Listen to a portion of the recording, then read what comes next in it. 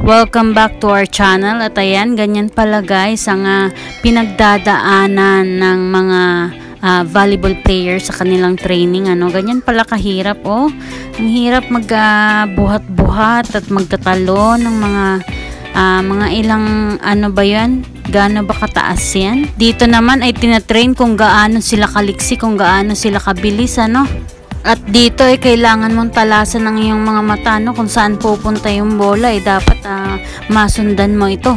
Ito naman pagka bigat-bigat nito guys, parang maaano yata ang matres mo dito pag itong binuhat mo ano. Ang bibigat naman pala ng mga binubuhat nila kaya tulad nito oh.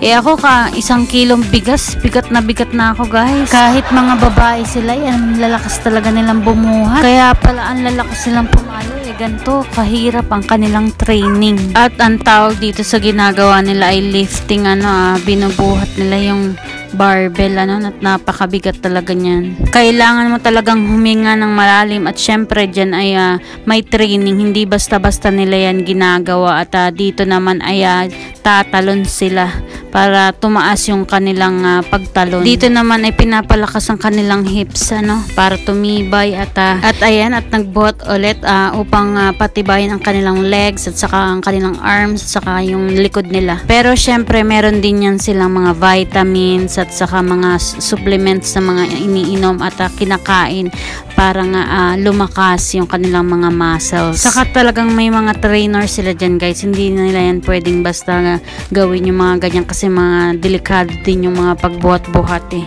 Yan po ay nasa tamang uh, instruction ng kanilang mga trainers at uh, yun lang ang kanilang uh, dapat sundin para uh, hindi sila ma-disgrasya sa pag uh, uh, i-ensayo or dyan sa kanilang mga training. At ito naman ang kanilang ginagawa bago mag start ang game, kailangan sila mag-warm up. Kasi 'di ba kahit nag-exercise lang eh kailangan pa rin naman talaga ng warm up upang hindi mabigla yung ating mga muscles. At uh, para ma-practice na rin para hindi naman na uh, pagdating sa court eh mabigla ka sa bola kumbaga upang ma-refresh yung kanilang mga isipan at uh, yun nga yung kanilang katawan kailangan na conditioning yan bago sila maglaro. Kaya yan gumagawa sila ng kanilang uh, warm up. Dahil napaka-importante po talaga ng warm up sa isang laro dahil nga po uh, kinukondisyon muna ang iyong katawan bago isabak sa isang uh, laban. Dito naman ay makikita nating uh, solo itong si uh, Dina Wong sa pagpapractice